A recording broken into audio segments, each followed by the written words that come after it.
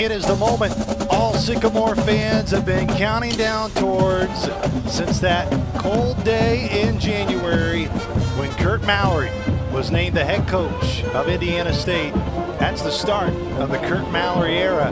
And tonight it gets underway against a familiar opponent at Eastern Illinois. It's the first time since 2009 that this historic rivalry is renewed. Fritzy, the Curt Mallory, Indiana State Sycamores take the field. Your keys to victory tonight for Indiana State, my friend. Well, I really think Coach hit on it. You know, you've got to win in the trenches and be really good up front. You got to eliminate mistakes, do the things that you're capable of doing to the best of your ability.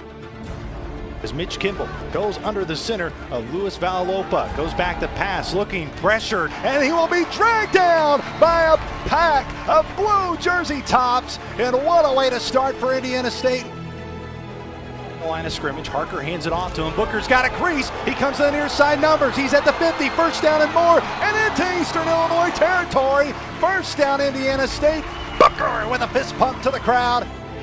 Snap. Harker rolls out left side, looks back to his right. Booker's wide open. He's got an open field in front of him. Touchdown, Indiana State.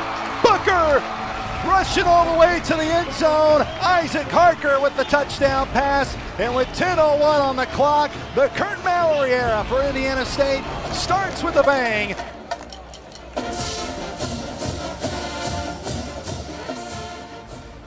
Goes off the left side and he's into the end zone. Touchdown, Eastern Illinois.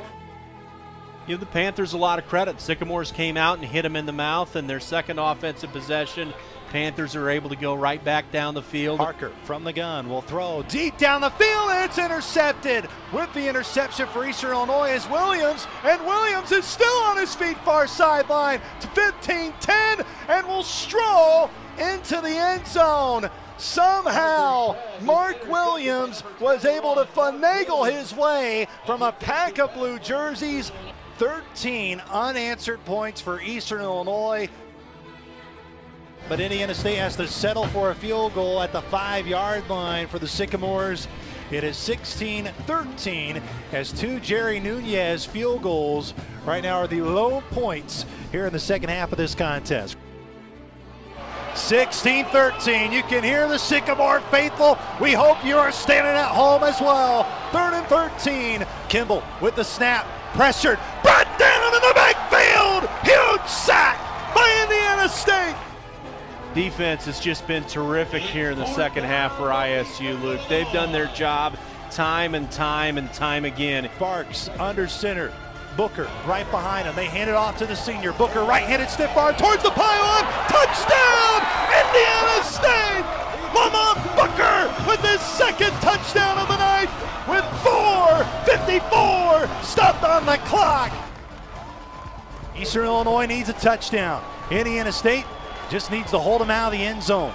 Waist high snap, Kimball. And he's sacked! Brought down! 27 seconds left! Eastern Illinois got to hurry. Eight seconds left. 20 to 16. One, maybe two plays for Eastern. Kimball from the gun, looks to throw, goes towards the end zone, caught, touchdown, Eastern Illinois, with three seconds left on the clock. Curt Mallory era begins with a heartbreaking loss